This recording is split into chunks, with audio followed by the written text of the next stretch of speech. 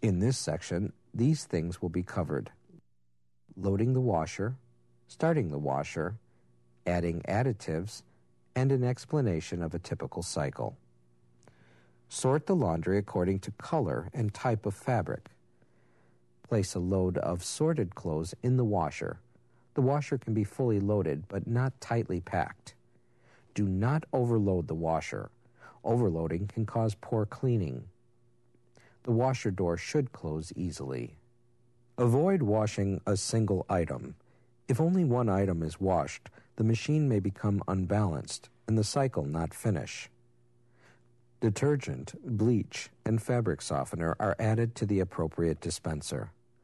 The manufacturer's directions should be followed for the amounts. The size of the load, soil level, water temperature, and water hardness should be considered when adding detergent. Since this washer is a low water wash system, HE detergent must be used. Once the washer is loaded, close the washer door by pushing it firmly until the latch clicks. The washer door will be locked during the wash cycle. The door can be opened only if the stop, cancel, pause has been selected or if the cycle has been canceled, depending upon the model. Some washers may have a power button that must be pressed to activate the control panel. A cycle needs to be selected according to the type of load or fabric. Each cycle has a preset cycle time, water temp, and spin speed. The preset settings provide the recommended fabric care for the selected cycle. The owner's manual will have details. Many washers have a control lock feature. On this model, if the control lock is activated when the washer is not running, the control panel will not operate. When the control lock is activated during a cycle, only the start and stop buttons will work. On this model, normal has been selected. Next, any options or modifiers can be selected to enhance the type of fabric or load that is being washed. Once the washer has been programmed, the start button must be activated.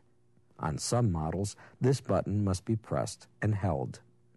On some models, if the start button is not selected within five minutes, the washer automatically shuts off. Once the start button is pressed, the washer door lock will engage, and the washer will begin filling. On this model, after filling for three seconds, the water will stop and the door will temporarily unlock for five seconds the washer door will relock and continue to fill. The detergent will be dispensed at this time. Front load washers will only fill with approximately 2 to 4 gallons of water. Therefore, a water line will not be visible on the door. During the wash portion of the cycle, the basket will tumble in one direction, stop, then reverse and tumble in the opposite direction.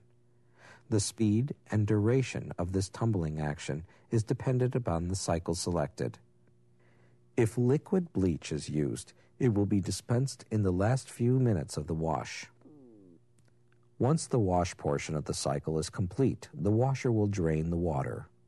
Next, the washer will go into spin. The basket will only spin in one direction, but will be at a much faster revolution. Rinse is next. The washer will refill with fresh water. Fabric softener will be dispensed at this time. The washer will go through another tumbling and reversing routine. Once rinse is complete, the washer will drain the water. Next, the washer will go into a final spin. During the last few minutes, the washer will do a slow reversing tumble. This allows the clothes to be fluffed up for removal and help prevent some wrinkles from setting in. The tumbling will stop and the door will unlock. The cycle is now complete. Some models, such as this one, may display a clean light when complete. Always refer to the owner's manual of the appliance for specific model information. The owner's manual will have information that covers installation, operation, safety, maintenance, and warranties.